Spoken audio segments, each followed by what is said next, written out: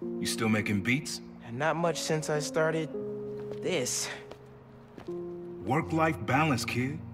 Most important thing. Here.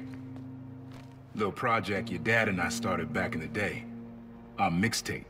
Had rhymes ready and everything. How come I never heard about this? Cause we never finished. We sampled street noise around the way. Wanted the city to be our beat. But your dad had the masters. And after things went bad between us...